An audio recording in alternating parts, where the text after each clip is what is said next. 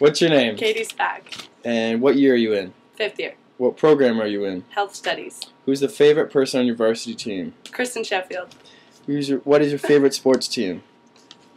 uh, Ottawa Senators, Favorite sport to watch? um, hockey. Least favorite sports player? Kristen Sheffield, What style would you say you have? Swagalicious, Favorite clothes to wear? Uh, sweatpants. Favorite memory from Waterloo?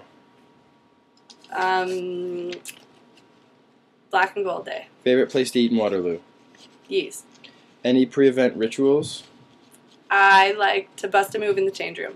Favorite TV show? Modern Family. First car you've ever owned? I've never owned a car. First car you ever drove? Um, our caravan. If you were to pick your nose, would you flick it or wipe it? Wipe. Blackberry or iPhone? iPhone. Mac or PC? Mac. Country or rap? Country. Worst coach you've ever had? Never had a bad coach. How many kids do you plan on having? Two. Who's your role model? Um, my mom. Black